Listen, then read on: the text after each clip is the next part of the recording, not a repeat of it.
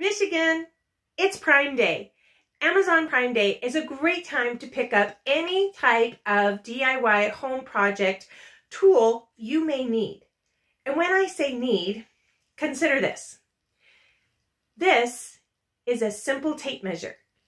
But if you've ever contacted any of the many award-winning businesses in construction, home repair, home remodel that recognition recommends, they may ask you, well, how big is the space?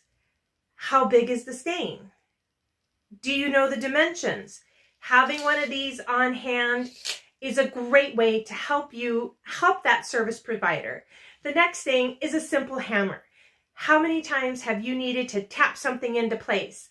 Rather than use a shoe or any other thing, consider having just a simple hammer in your basket that you keep your tools in. The other is a screwdriver. And preferably, if you can see, there's diamond head on one side and watch, just like that, I turn it around and I have the flat head on the other.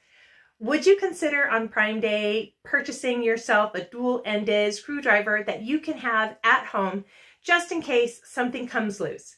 Now, there's so many times that there is weather damage on your roof, something has leaked in the HVAC system, now you've got a stain on the wall and you need that drywall replaced.